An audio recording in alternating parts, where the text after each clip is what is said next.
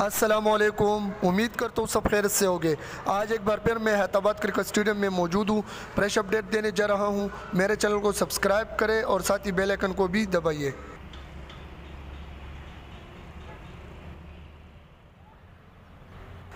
इस वीडियो में मैं आप लोगों को ड्रोन से पूरा स्टेडियम दिखाने जा रहा हूँ।